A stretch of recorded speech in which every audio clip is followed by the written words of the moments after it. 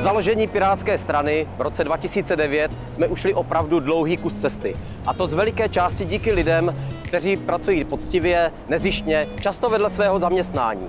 A právě v nich spočívá největší bohatství Pirátů.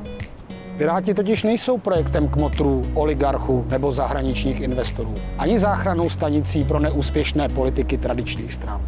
Těší mne, že se v čím dál větší míře lidé zapojují jako členové, případně jako dobrovolníci.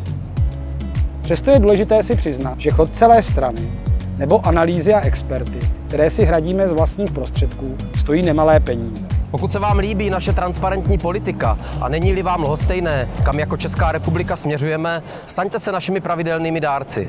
A na co konkrétně budou vaše peníze použity? To se dovíte na webu dary.piráti.cz. Jménem České pirátské strany vám děkujeme za podporu, které si upřímně vážíme.